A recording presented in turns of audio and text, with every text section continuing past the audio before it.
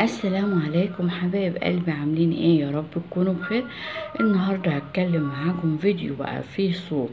بعد غياب طويل كنت بنزل الصور بس عشان تفضل القناة مستمرة. كان عندي ظروف خلتني ما أقدرش إيه أنزل أي فيديو. النهارده هنتكلم على حاجة مهمة قوي بتهم كل ربات البيوت. كل ست مصرية كل ست عربية داخلين على رمضان. طب ما تيجوا بقى ندردش ونتكلم شوية في حاجات كده بسيطة ممكن مع بعض ننفذها ونقول هي هتنفع الفكرة حلوة اللي عنده فكرة يقولها كده وناخد وندي مع بعض. أول حاجة في الفكرة الحصالة دي؟ بس أنا مش هتكلم دلوقتي على الحصالة هنتكلم على حاجات الأول قبل الحصالة. هنتكلم على إيه يا أم إسلام؟ على شهر رمضان الكريم. يا رب يعود علينا وعليكم باليمن والخير والبركات. يا رب العالمين. لسه بدري يا أم إسلام على رمضان. ما يجراش. نيجي نبدأ نتكلم ونبدأ نخزن ونعين من دلوقتي. أنا عارفة إن الظروف وحشة والدنيا صعبة. والخضروات أو الفاكهة أو الأكل بجميعه غالي. مفيش حد معاه ألفين تلاتة يروح يجيب شوية لحمة على خضار يخزنهم. الفكرة بتاعتي إيه؟ بسيطة جدا. إن إحنا هنبدأ نخزن براحتنا حبة حبة زي ما بنقول كده. هنبدأها بإيه؟ بالمانجا. نلحق بقى كده المانجا موجودة. إيه لسه بخمسة وتلاتين جنيه. الحق اشتري لك بمية جنيه. كل حباية كده حطيها في كيس وارميها في الفريزر. هتيجي في رمضان تلاقي عندك عصير مانجا طبيعي أحسن من الأكياس دي. طيب إيه تاني؟ الجوافة. الجوافة بعشرة جنيه ولسه موجودة في السوق وريحتها تحفة كده وانت ماشية تلاقي ريحة الجوافة مفحفح بخمسين جنيه. بلاش بخمسين جنيه بعشرين جنيه اتنين كيلو ونضفيها وكيسيها وكل كيس تحطي فيه. إيه تلات أربع معالق سكر ده برضو هترميهم في الفريزر هتيجي تلاقي عندك نوع تاني من العصير الطبيعي. الجوافة الفراولة هتبدأ تطلع. البرتقال طلع دلوقتي بس هو لسه أخضر هنركنه شوية لحد ما يصفر كده وطعمه يبقى حلو وريحته تبقى كده قلب الدنيا.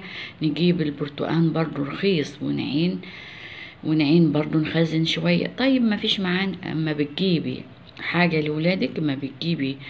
فاكهة لولادك حوشي منها حبايتين ورميهم في الفريزر. حوشي أي أي حاجة. طماطم إحنا لسه هندخل بقى على الخضروات. حوشي منجاية وارميها في الفريزر. يعني لو متوفر ومعاكي وربنا ميسر لك ابدأي هاتي كده الحاجات الفاكهة المتوفرة دلوقتي اللي بتتخزن. ندخل بقى على الخضروات. الطماطم الطماطم بعشرين جنيه غالية غالية برضو. هاتلك بخمسين جنيه اتنين كيلو ونص. امسكيهم كده نضفيهم وعلى قد الأكلة وقطعيها وحطيها برضو في الفريزر. طيب مفيش إما بتجيبي كيلو أو اتنين كيلو لبيتك. إيه خدي منهم كيسين كده على قد الطبخة بالظبط وعينيها في الفريزر. تاني حاجة في في الخضروات إن إيه البسلة هتبدأ تظهر برضو. إحنا داخلين على الشتاء بقى والخضروات والفاكهة بقى الجميلة بتاع الشتاء. البسلة والسبانخ ده كله من الحاجات اللي إحنا بنحب نفرزها وبنحب ناكلها في رمضان. بيبقى الأكل في رمضان الحاجات دي بيبقى لها طعم تاني خالص. في إيه تاني من الخضروات اللي موجودة؟ الجزر برضو بنحتاجه للعصير البرتقال وبنحتاجه للبسلة وبنحتاجه فيه القلقاس في الحاجات دي كلها. أنا ما بقولكش هاتي كمية كبيرة روح هاتلك مثلا ألف أو ألفين لأ. بتجيبي طبخة لبيتك حوشي منها شوية. حاجة فاكهة جايباها للبيت حوشي منها شوية زي ما أنا بقول كده. إيه الخضروات الشتوية بتبقى جميلة بيبقى فيه بقى الفول الأخضر والبسلة والجزر والسبانخ اللي كده. هندخل بقى على إيه؟ السكر. بتجيبي التموين حوشي كيس سكر على جنب كيس مكرونة على جنب. كل ما معاكي أي حاجة حوشي وهاتي ربع كيلو لوبيا على جنب.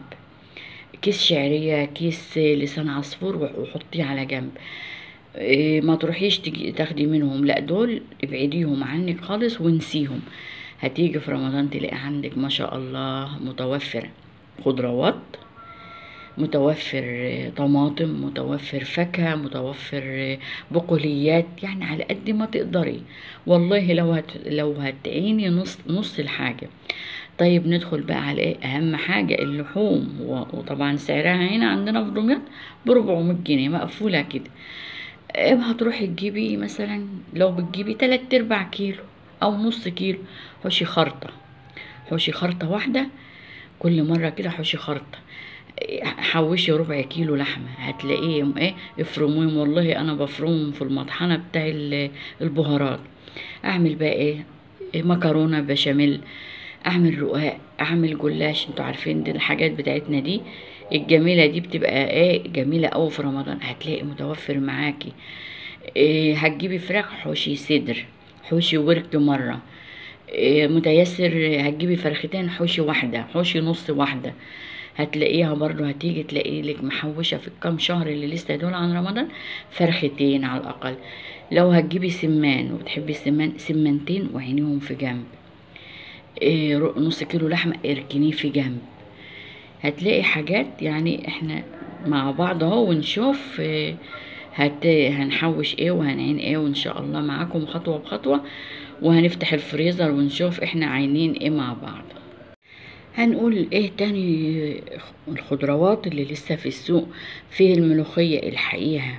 هات شوية كده و- والربطة بعشرة جنيه ماهيش غالية. ونشفي شوية وخ- وفرموا حبة وحطيهم في الفريزر. إما تيجي تعملي ملوخية الشوربة بتغلي على النار تسقطي فيها الملوخية وهي متجمدة. ما تسيبيهاش تركن على الرخامة لما تفك لا حطيها وهي متجمدة كده. البامية لسه موجودة برضو يعني مبقولكش هاتي نص نص كيلو بامية.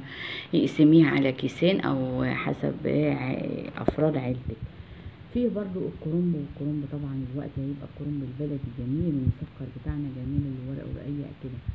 مش مهم إن أنت تجيبي كرنباية كبيرة وتعملي حلة محشي قد لا ه- حتى لو أنت هتجيبي كرنباية كبيرة اقسميها.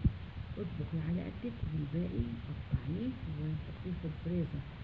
حاجات بسيطة والله هتوفر معانا كتير آه، ده ده كان الخضروات وأنا مش متذكرة خضروات إيه حاليا اللي موجودة في السوق أكتر من كده أنا ما بحبش لا غزل لا كوسة ولا بتنجان ولا حاجات من دي آه، نتكلم بقى على الفيديو بتاعنا الأساسي اللي هي الحصالة. إيه حكاية الحصالة دي؟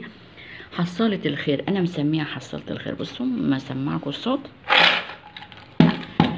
أي فلوس فضية معايا بتفيض من المواصلات من المحل اداني اتنين جنيه تلاتة جنيه واحيانا بيديني عشرة جنيه فضية. بروح حطها وسقطها هنا. هي هي بصوا ميزتها إن انت ما بتعرفيش تطلعي زي مثلا تحطي في بوك أو تحطي في الحصالة اللي هي بالقفل. لأ. دي ميزتها إن انت ما بترمي فيها الفلوس خلاص ما بتعرفيش تطلعيها تاني إلا إذا إيه كسرتيها بقى و- وطلعت هنبدأ بقى أي فلوس فضية معاكي عينيها. عشرة جنيه خمسة جنيه عشرين. تبع مقدرتك مش هقولك لا إيه يعني خدي من مصروف البيت ويعجز معاكي وروحي حطي فيها لا. على قد ما تقدري. يعني اللي يتوفر معاكي والله لو عشرة جنيه في الشهر بستمية جنيه. إيه طبعا أنت لو هتضعفي براحتك هتقللي تبع ظروفك برضو طب هنعمل إيه بقى بالحصالة دي؟ هنيجي بقى إن شاء الله كده في آخر رمضان يا رب يعود علينا الأيام. ونروح بقى جايبين لبس العيد بتاع الاولاد هتلاقي توفر معاكي ألفين تلاتة. إيه تبع ما بقولك تبع تبع من اللي أنت هتحطيه. هتجيبي لأولادك اللبس ما هتبقيش شايلة هم اللبس وشايلة هم الكحك والبسكوت. وطبعا الأولاد ملهمش دعوة بالظروف بظروف البيت أو بظروف الناس لأ. ال- الأولاد لازم يفرحوا فهتلاقي متوفر عندك الف... معاكي فلوس. تجيبي لبس كل واحد كده تجيبي له طقم للأولاد وتجيبي بقى كيلو بسكوت على كيلو شوكولاتات على شوية حاجات كده تفرحي بيهم الأولاد. انت نفسك هتفرحي من جواكي إن انت قدرتي توفري حاجة توفري حاجة يعني تشيلي من المسؤولية كمان. يعني حاجة ما كانتش على البال أنا بسميها حصالة الخير. فإيه رأيكم في الفكرة؟ يعني تنفع معانا نحوش فيها؟ وإن شاء الله في رمضان هنفتحها سوا وكل واحدة تقول لي حوشت كام وجابت لبس إيه لأولادها. إيه، أتمنى يا رب إن الفيديو ده يكون عجبكم وما تنسونيش حبايبي باللايك والاشتراك في القناة. إيه، كلمة حلوة منكم تشجعنا أفكار نتبادلها سوا ونتناقشها سوا ونتكلم فيها سوا. تقولوا لي أنتوا منين من أي بلد بتتابعوني؟ وأتمنى يا رب ال like هو اللي بيرفع القناة ال like, ال like هو اللي بيخلي القناة تستمر. أنا نفسي أبقى يعني زي القنوات المشهورة المعروفة اللي, اللي إحنا بنتابعها وبنتفرج عليها مع إن هم يعني ما بينزلوش أي أي محتوى بس الناس بترفع لهم الفيديوهات ومشاهداتهم عالية. أشوفكم على خير يا رب في فيديو جديد في رعاية الله وحفظه.